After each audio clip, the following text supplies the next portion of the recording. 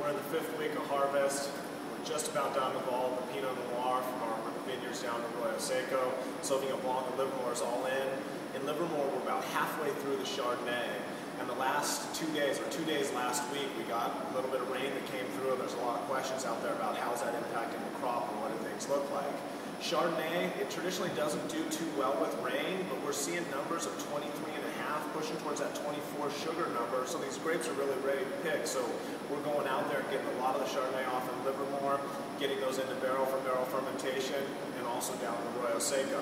Zinfandel, it's all already off. That doesn't do too well with rain.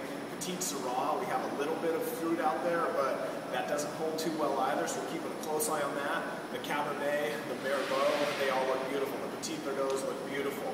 Those thick-skinned Bordeaux grapes do really well in the rain. There's no problems. Whereas a thinner-skinned Chardonnay, Zinfandel, Tempranillo, you really got to keep your eye on. So the rain throws you a little bit of curveball in the middle of harvest, but you always just got to deal with it. And my senior vineyard manager here in the Livermore Valley has up on his wall that Mother Nature always bats last. So you got to work with Mother Nature and try and grow great flavors to make.